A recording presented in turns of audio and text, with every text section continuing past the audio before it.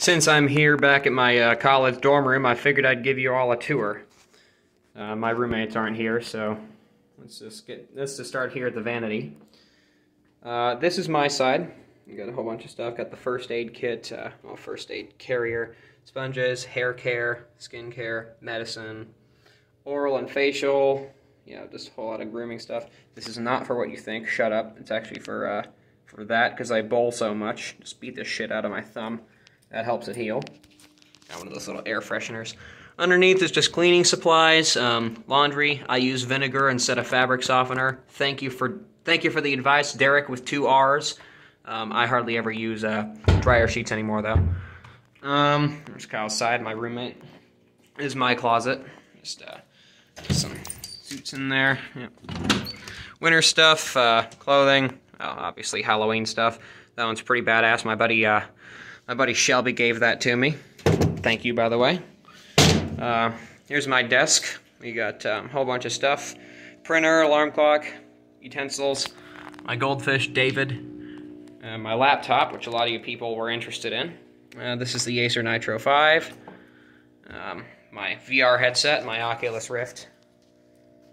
Um, if it'll go. Now screw it. Um, in here is just a bunch of snacks a bunch of snacks, real healthy. I'm really fucking healthy.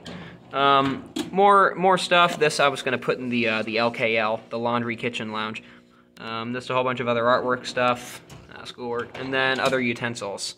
Got my VCR down there, cardstock, a whole bunch of other uh, hardware.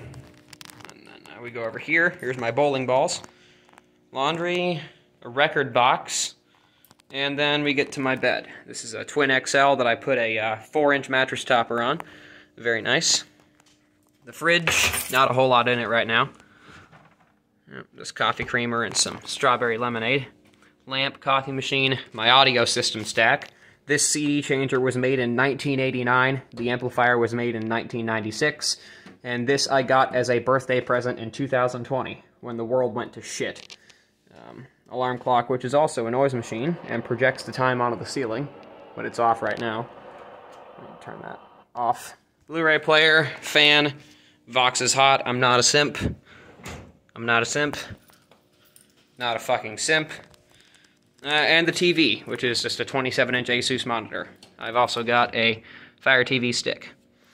And an Echo Dot, which is nice. Uh, I am only doing the stuff on my side of the room just to respect my roommate's privacy. And uh, yeah, that's my dorm room for you. Oh, and in case you were curious, my roommate does not have these flags for the reasons you think.